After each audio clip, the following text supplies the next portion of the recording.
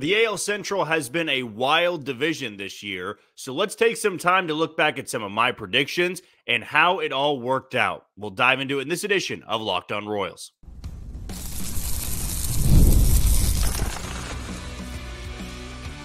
You are Locked On Royals, your daily Kansas City Royals podcast, part of the Locked On Podcast Network, your team every day. You are tuned into Locked On Royals in the Locked On Podcast Network. I'm your host, Jack Johnson, and you can find me on Twitter or X at Johnny J underscore 15. That's at J O H N Y J underscore 1 5. You also can catch us on wherever you get your podcast. That can be Spotify, Apple Podcast, Amazon Music, Google Podcast. We're on Audacy, and we're on YouTube. Just be sure to hit that follow button and subscribe.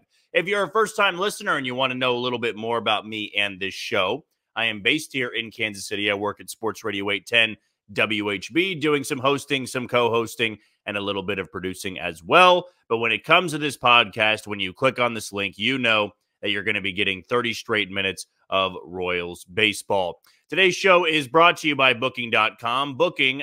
Yeah, the right stay can make you a fan of any city, even your rivals. Book today on Booking.com, the official accommodation partner of Major League Baseball. Get the booking.com app today.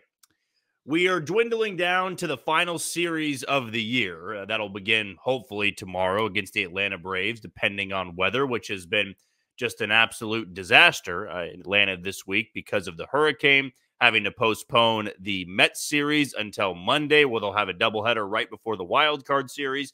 So it's been a mess in Atlanta. But hopefully the Royals will have a chance to play tomorrow, Saturday, and Sunday. Because if they don't, uh, that would likely mean a doubleheader on Saturday when the weather does look good, and then Sunday. So the the Braves would have two doubleheaders in a stretch of like three or four days. So far worse for them, a game back of a playoff spot than it would be for the Royals. But that's all assuming the Royals can take care of business here in a few hours and beating the Washington Nationals and sweep them before heading off to Atlanta.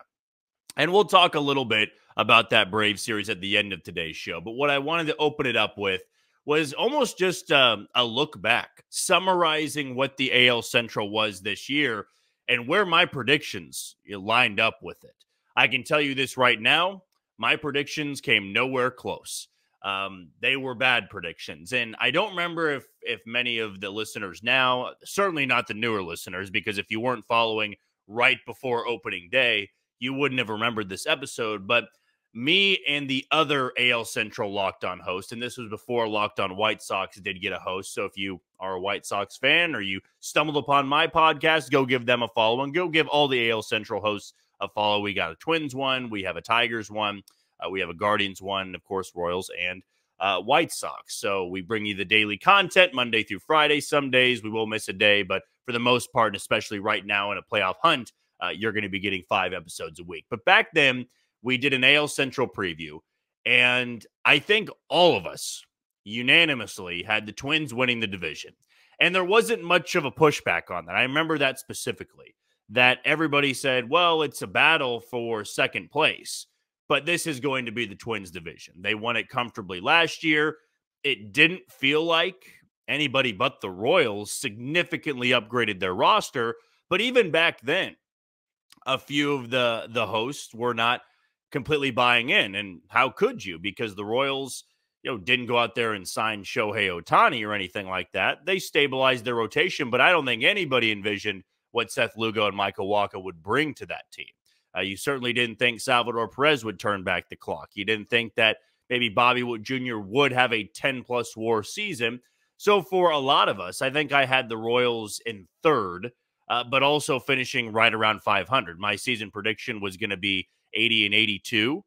And I feel like for the most part, that was everybody else's guess was maybe around 500 except for one host and i'm not going to single him out but he actually thought the royals would finish in last place because the white sox had a better farm system at the time but of course the white sox are one loss away from setting the record for losses in a season at least in the modern era not uh, going to touch the cleveland spiders record but they will likely touch the old 60s Mets record um, when they lost 120 games that year. The White Sox can surpass that with one more loss, which they are going to get either today against the Angels or against the Tigers this weekend. But the way this all went about was that the Twins were a first place team. And then we all basically said second, third, and fourth are interchangeable. Now, that might have been the only thing we said accurately. Second, third, and fourth are going to be interchangeable, and those teams are not going to be separated by a lot. He said the team that finishes in second place might finish like a game or two or maybe three games ahead of the team that finishes in fourth. And here we are with four games to go. The Royals being in second place are only two games ahead of the Minnesota Twins, who are in fourth place. None of us could have predicted the White Sox to be that bad. I thought they would be horrific. I did not think they would lose 120 plus games. Um, maybe I should have taken that into account of there were no true big league players on that roster except for Garrett Crochet and and Erick Fedde and Luis Robert but there were a lot of guys that just didn't belong on a big league roster, and that's how you lose 120 plus games. Now, for the actuality of this, for the reality of what happened in the American League Central, was that the Guardians got off to a hot start, the Royals got off to a hot start. But right when the Royals started to go on that stretch of winning eight in a row, the Guardians won eight in a row or nine in a row. So the Guardians use their bullpen, uh, the the youth movement to take this division and run away with it. And there were times that that division got close. In fact, the Royals just earlier this month, or might have been at the end of August. I think it was the end of August because Vinny got hurt uh, in that Houston Astros series in, the, series in the final week of August. But the Royals had tied them for first place. But other than that, the Twins had a couple of moments where they were close. The Tigers were never close to first place it wasn't until now that they started making a serious push to the playoffs, and now they're likely going to get in. But it was a three team race for the majority of this year. It was the Guardians, the Twins, and the Royals. And the Twins were ahead of the Royals for a long time. And then they couldn't stay healthy. The Guardians never really got bit by the injury bug, with the exception of losing Shane Bieber at the beginning of the year. Their bullpen just took all of the extra workload that the starting rotation put onto their shoulders and they thrived with it. I thought the bullpen would wear down. That didn't happen. This is a Guardians team that, if they can have a lead by the fifth of the sixth inning, they're going to win a couple of playoff games and maybe be able to make a deep run. So the Guardians are going to be good this year. They're going to be good next year. At least you would think so. Ownership doesn't really spend a lot of money, but they always seem to make the right trades and sign the right players. The Twins had one of the worst collapses I have seen. I don't think there was any point until Tuesday night that I thought the Twins were not making the playoffs. Even when they lost their doubleheader against the Red Sox on Sunday, I thought they still have a chance because of the Marlins and because the Orioles might not be playing for something. But now they absolutely are on the outside looking in, and they are in a dire situation. And it would go down as one of the craziest collapses we have seen in the last 20 to 25 years in baseball of a team that was comfortably in second place to finishing in fourth. And the only team they're ahead of in the division was somebody that set the major league record for losses in a season, at least in the modern era. So you take that into consideration of the Royals, yes, crumbled. Uh, they had back to back, or not back to back, excuse me. They had two seven game losing streaks after Vinny Pasquantino got hurt, but they still have a two game lead in the wild card race. They have a half game lead over Detroit because of the tiebreaker with four games to go. A win today would go a long way in almost securing a spot because if they win and Minnesota loses, there are magic numbers down to one with three games to play. And at that point, I think we touched on this last night. The Royals would just either need to win one game in Atlanta or the Twins would need to lose one game against Baltimore. That would be it. And with the way the Twins would be playing, you would probably see their playoff odds well over 95% not 100. That won't be that way until they actually clinch it.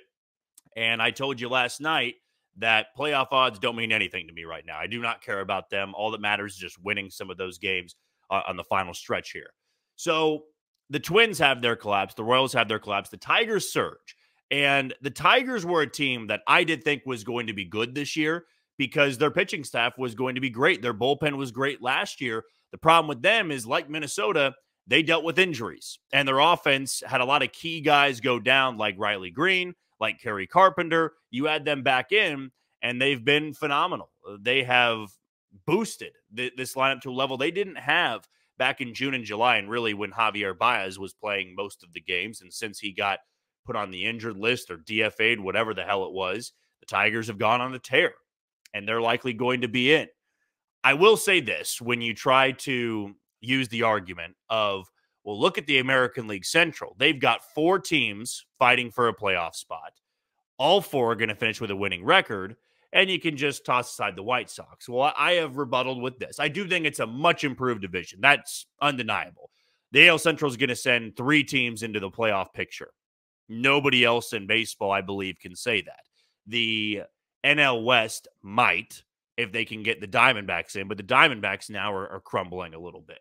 So the AL Central, after sending one, kind of by default because they won the division last year in Minnesota, they're going to send three. And every team that makes it had to earn it.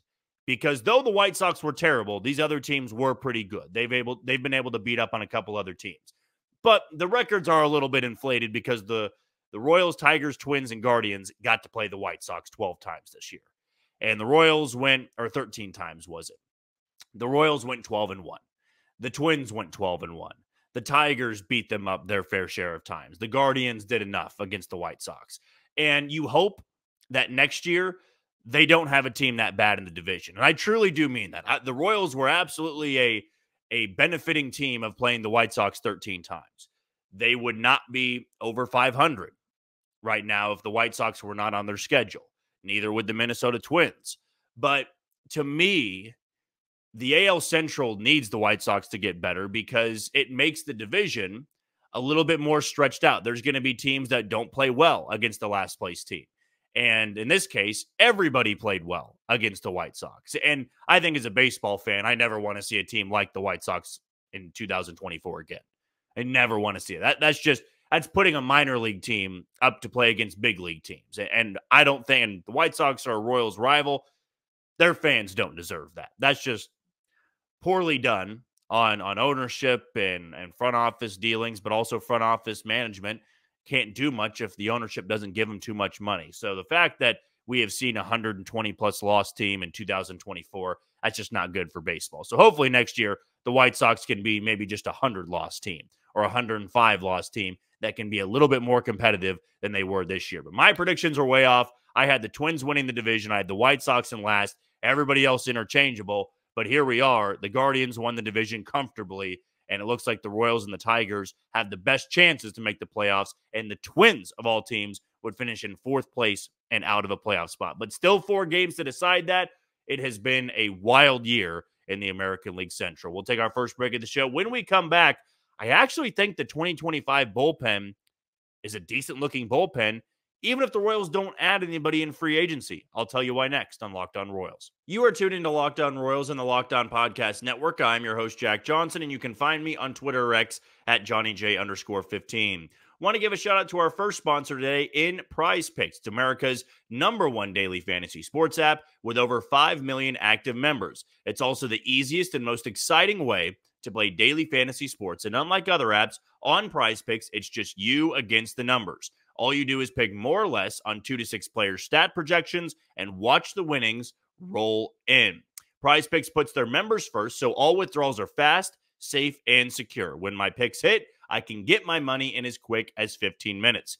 Prize Picks also invented the flex play, which means you can still cash out if your lineup isn't perfect. You can double your money even if one of your picks doesn't hit. So download the Prize Picks app today and use code Locked On MLB on and get fifty dollars instantly when you play five dollars. That's code Locked On MLB on Prize Picks to get fifty dollars instantly when you play five dollars. You don't even need to win to receive the fifty dollar bonus. It is guaranteed. Prize Picks, run your game. I think last night gave me a little bit of a a preview, a sneak peek, if you will, into who the Royals can keep around in 2025, and more importantly, stash away in their bullpen. Uh, you know, there's a couple of new guys this year, and even ones they signed last off season that have an extra year of control. And it's a huge, huge relief knowing that the Royals don't need to spend a lot of money on their bullpen. And that's going to be met with some pushback from listeners in the comments. I'm sure I'll get here. But you don't need to spend a lot of money to fix a bullpen. I think even in the Royals case, that's been very obvious Sam Long, being one of their bullpen arms, was a minor league deal guy. You know, Kris Bubic was just a guy that came off Tommy John and they weren't expecting a lot from, but now he's their setup guy. Uh, Daniel Lynch's career seemed dead in the water until he returned to Kansas City about a month ago, and he's been great since. So when you are, you know, constructing a bullpen, the best case scenario is you find some hidden gems that maybe you stashed away in Omaha or they were a failed starter, whatever the case may be. That's the best case scenario because you don't need to spend any money. You don't need to go trade for anybody. And last year, the Royals knew they needed to completely overhaul their bullpen. They kept James McArthur, and that was about it. Now, Carlos Hernandez didn't stick around long enough. He'll likely be on the postseason roster because McArthur and Hunter Harvey were shut down for the year. But Carlos Hernandez wasn't a mainstay in the Royals bullpen this year, and he wasn't a mainstay at the beginning because he was hurt. So you took James McArthur from last year and Angel Zerpa, kind of, and said, We're going to go replace everybody else. We're going to go get Will Smith. We're going to go get Chris Stratton. We're getting Nick Anderson. You, you tried to piece together this bullpen with free agent deals. They traded for John Schreiber. They took Matt Sauer in the Rule 5 draft. I mean, they overhauled the bullpen. And it's always a gamble because for a lot of those guys, they weren't that good in the previous year. They were two or three years removed from their last great year in baseball. And it's not a surprise that some of the guys they cut bait with aren't pitching in big league bullpens. And of course, guys went on to succeed elsewhere.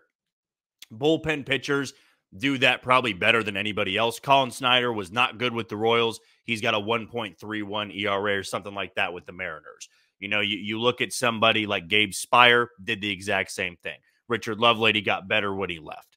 And it happens. Joel Payamps, another one of those examples. But there's also guys like Dylan Coleman who couldn't get it done in the Astros minor league system. Just something went wrong in his big league career. Josh Staumont had a little bit of success with Minnesota and then was let go. Scott Blewett with Minnesota right now. He's doing much better. Look, bullpen guys can do that. Sam Long was bad last year for the A's. He's been good this year for the Royals. It happens, right? It's easy to turn around a relief pitcher. But back to the point of what I think the 2025 bullpen can look like, I'm looking at about seven or eight guys. And I like what I see. And I'm not trying to feed into the recency bias. I'm not trying to, you know, take away these great outings against a bad offense and say, well, this is going to be one of the best bullpens in baseball. Because what the Royals don't have, with the exception of Lucas Erceg, is a high powered strikeout pitcher.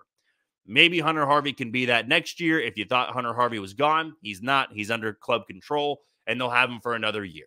And I expect Hunter Harvey to bounce back better than what he did uh, in 2024. You know, get him completely fixed. He can have a good spring training, and the Royals won't overwork him like the Nationals did in the first half of 2024. But here's who's going to be back. And if there is somebody you would want to replace, well, it's easier replacing one guy than it is five guys. And you can spend a little bit more money and get one of those high powered strikeout guys. But we know Lucas Erceg is going to be back. He'll be the closer next year. Kris Bubic, I think, should be left in the setup role. I, I don't think you need to move Kris Bubic to the, the rotation. I think for the first time in his career, he has shined in a role for an extended period of time. I don't think that you need to go out there and try to lengthen him out.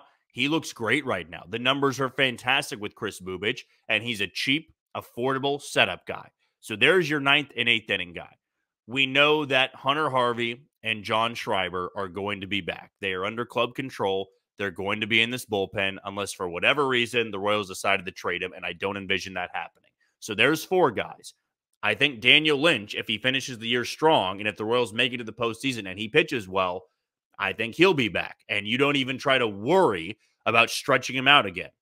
Even if Daniel Lynch says, I want to be a starter, I think you have a sit down with him and say, look, you're valuable in our bullpen. We're going to give you high leverage spots. And we feel like you could be that guy to get the job done. If he declines that, then I don't know what to tell you. But I think Daniel Lynch is pitching well enough that he's in the plans right now. So there's five guys. I think Angel Zerpa will be in this bullpen. So there's three lefties, and there's six guys right there. And then I think your seventh spot could go to somebody like Steven Cruz. I, I, said this yesterday on Twitter, and you can follow me there at Johnny J underscore 15. Steven Cruz was quietly fantastic for the Royals this year. He was only up for a handful of games. He faced 18 batters, retired 17 of them. Didn't walk anybody, didn't hit anybody, didn't give up a single barrel. He's using a cutter a lot more now. He seemed to cut down the the walk rate in AAA this year. It was a big jump for him. And honestly, at this point, I would take Steven Cruz over Carlos Hernandez. So there's seven guys right there. And if you wanted to to contemplate an eighth guy, you know, uh, you could look into somebody like Evan Sisk down in Omaha, but that's just a fourth lefty. But again, if you wanted to go free agency and you felt like they were missing another big strikeout guy, man, I think that you could go with that instead of James McArthur. Or maybe you feel like James McArthur can be back in this bullpen or you want him over Steven Cruz. I get it. But that's what I like about this bullpen is that it's cheap. There's a lot of guys coming back for next year, and you don't need to spend a lot of money on bringing in four or five different bullpen arms. You know what you got in a lot of these guys. And some of these guys have good upsides. So to me, if you go into the offseason, regardless of how this season ends up, and you go, all right, we got seven guys that we feel good about. Maybe we bring in one more else and we have competition in spring training, or you barely even spend any money on it and give a couple minor league deals to guys going into spring training of 2025. That's how you got Sam Long. That's how you brought in Tyler Duffey, Dan Altavilla. Now, Sam Long was the only guy that really, you know, pitched well of those three, but you're throwing darts at a dartboard in the dark. One of those could stick, and you didn't spend much money on him. Maybe they do bring back Sam Long. I don't know. Or Sam Long will want a, a one year deal, a more uh, of a secure contract, even though a one year deal is not. Maybe he's looking for a two year deal. Not sure he'll get it, but the Royals got a lot of good options now where they just simply didn't have it last year. I know the bullpen hasn't shined this year, but right now they are looking good in the month of September. And a lot of these guys I would like to see back in the bullpen in 2025. We're going to take our final break of the show. When we come back, let's preview what is sure to be a wacky series in Atlanta coming up this weekend. We'll talk about it next on Locked On Royals. You are tuning to Locked On Royals and the Locked On Podcast Network. I'm your host, Jack Johnson, and you can find me on Twitter X at Johnny J underscore 15. Want to give a shout out to our final sponsor and our title sponsor in booking.com. Explore those cities you've always secretly wanted to learn more about. With hotels, bed and breakfasts, vacation rentals, resorts, and so much more on booking.com, you might just find your perfect stay even in your rival city during the postseason. Maybe it's time to taste test your baseball's competition stadium cuisine. Luckily, on booking.com, you can find the stadium stay that's right just for you. With booking.com's wide variety of choice across the U.S., you can go incognito to all of your rivals' cities. Booking.com delivers exactly the right U.S. stay for you, and Booking.com can help you book a stay that's close to your home team or your rival stadium. No matter what team you're rooting for this postseason, Booking.com can make you a fan of any city. The right state can make you a fan, even your rivals. Booking.com, booking.yeah. This is going to be a chaotic series in Atlanta, and there's not a lot on this series in Atlanta. Usually, when I do these previews, I'm able to give you the pitching matchups, I'm able to tell you a little bit about the team. I have no idea to this point what this series is going to look like in Atlanta how the Royals can solve a lot of these issues, even though the weather's out of their control, what Major League Baseball decides to do is out of their control. If they win today, they put themselves in a very comfortable position going into the weekend. Because if I'm not mistaken, even if the uh, Twins were to win tonight, and I want to do this math in my head, so I apologize if this sounds weird on the podcast. But if the Royals win and the Twins win today, which they're both expected to, the Royals would have a two game lead with three games to go. The Twins would need to sweep the Orioles, and the Royals would need to lose their series to Atlanta because that would be gaining two games, and the Twins would have the tiebreaker over the Royals. I think I'm doing that math right. If I'm wrong, correct me in the comments because I was not great at math in high school nor in college. Um, but that series can really, you know, take a lot of pressure off you if you win today. And of course, that's the focus because the harsh reality of this series is that the Royals are going to be taking on a team that's playing for their lives. But as I said last night, the Royals are too. It's not like the Royals have wrapped up anything or they're not playing for a playoff spot. They are. So these games matter to them as well. But whereas on Monday, we looked at that series in Atlanta as it could matter, it could not matter.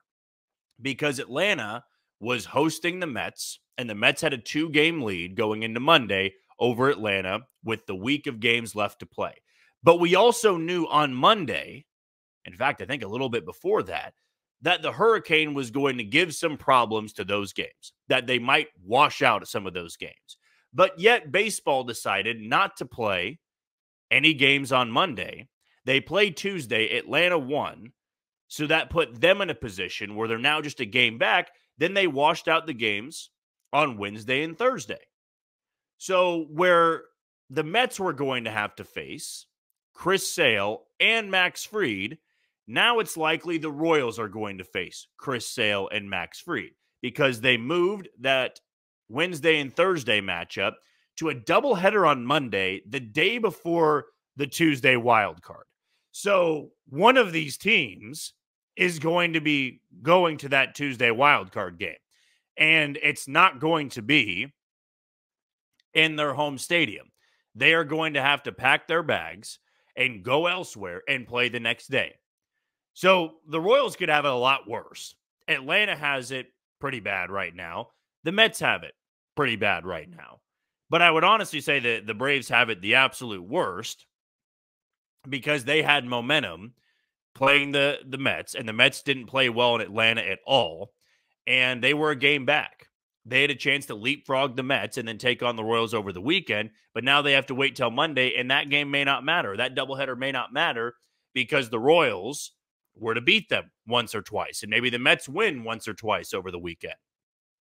So Atlanta really got screwed by Major League Baseball in the bad weather here. But we do know this. First pitch on Friday is 620. And I'll still put an asterisk on that because the weather doesn't look good. The Royals might have to do a doubleheader on Saturday, but even then, that's making Atlanta do a doubleheader on Saturday and Monday with the playoffs on the line. So, how they handle their pitching matchups, I don't think we're going to know until Friday morning. And I will be having to do a, a pre record of the Mailbag Friday. So we won't have all the answers to the pitching matchups or what happens in the Marlins series tonight, who's the winner of that game, because I'll have to record it in the evening time. I'm heading out of town this weekend. I'm going to be doing so pretty early. So I won't have all the answers on that. But the Royals will at least be going into this, this series knowing who's throwing for them. They're going to have Brady Singer on Friday. They'll have Seth Lugo on Saturday and Cole Ragans on Sunday. Best case scenario, is the Royals win today, the Twins lose tonight. They go into this Atlanta series just needing either one win or one Twins loss. And hopefully that would happen on Friday night. Or, better scenario, the Royals don't play on Friday and then the Twins lose to Baltimore. Then those final two games, the doubleheader, the three games, they don't matter at all and then you could throw whoever you want to throw. Start Carlos Hernandez, start Daniel Lynch, do a bullpen game, call up somebody to start because your spot would be locked in at least for a playoff spot. But if you were fighting for the second wild card spot, I guess that does factor in there. So I, I walked that back a little bit because the Tigers, they're playing the White Sox. And maybe you do look at that. The Tigers are going to win likely all three of those games. And you're likely not going to win all three of your games in Atlanta. So at this point, it kind of looks like the Royals will be heading to Houston. You know, so that's that's the crazy part of this all. It's still possible the Royals can go to Baltimore, but right now I think the odds would tell you the Royals are going to be the final wild card team and go to Houston, and the Tigers will win their final three games against the White Sox, and they will go to Baltimore. So we'll see. Again, we'll see how that all shakes down. But this Braves team, they're going to be without Ronald Acuna Jr. That's been known for quite some time. Austin Riley is not coming back. And it's a Braves team that has done well enough this year with all the injuries that they have suffered. I mean, they have been riddled, at least offensively. They still have a couple of their top arms. They're going to have the Cy Young winner on the National League side this year uh, with Chris Sale, who the Royals likely will see this weekend, because I don't think they're going to save their best arms for the doubleheader on Monday, because that game may not matter if they lose any of the games to the Royals. So we'll have to see what Atlanta um, is going to do with their pitching matchups. I bet that we'll know on Friday morning. I don't think we're going to get a definitive answer anytime soon.